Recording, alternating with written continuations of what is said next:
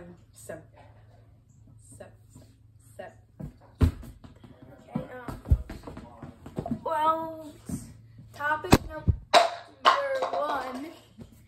Topic.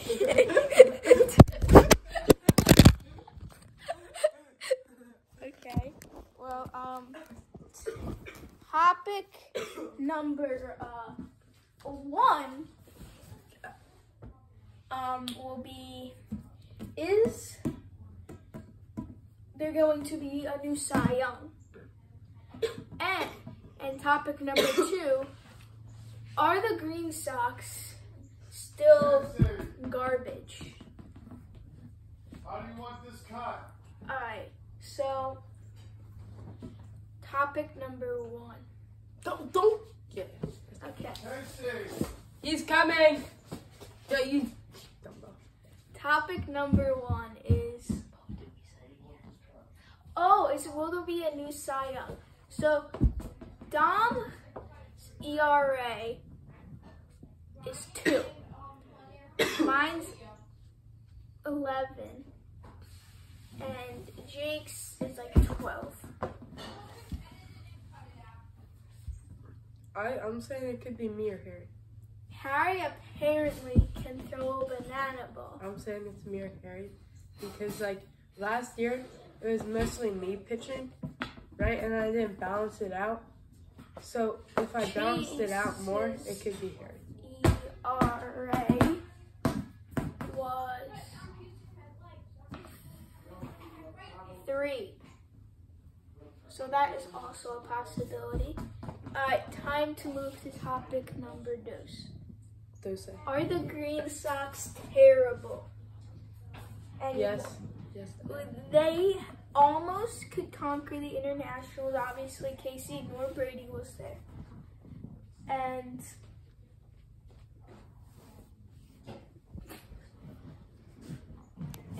So Casey! Casey,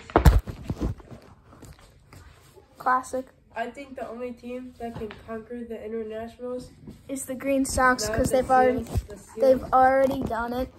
because the Seals ruined their undefeated season last year. The only team to beat them. Actually, the first team To beat them. to beat them, right? And also, we almost beat them again after that to win the WS. Yeah. But th- this is this year too. But could the internationals not make the playoffs, which we will go into?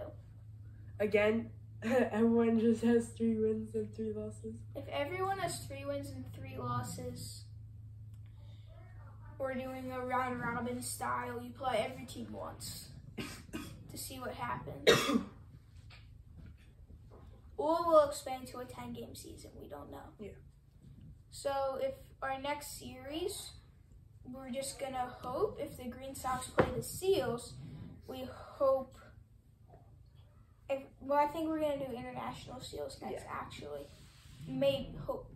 So that the only shot that of that happening is if the Seals win two out of three games, which is exact. It had if if they're sweep, they're fine, but it has to be exactly like that. Yeah.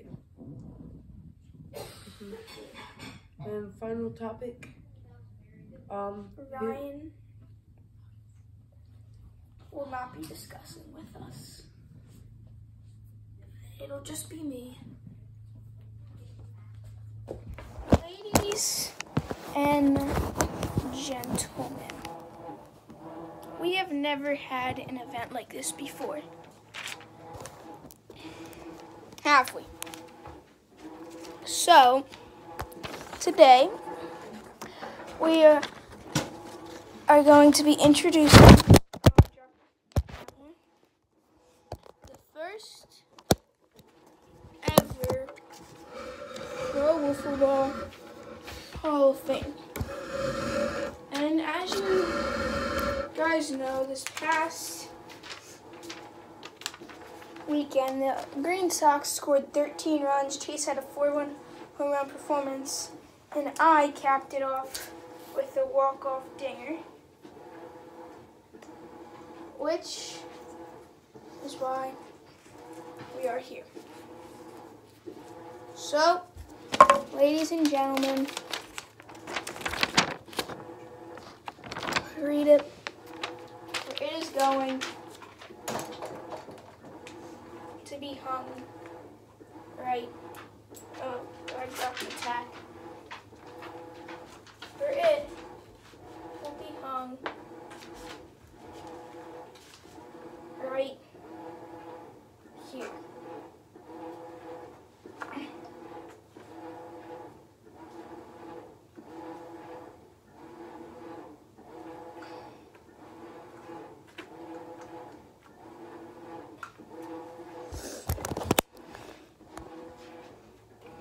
There you go. Pro Football Hall of Fame has started.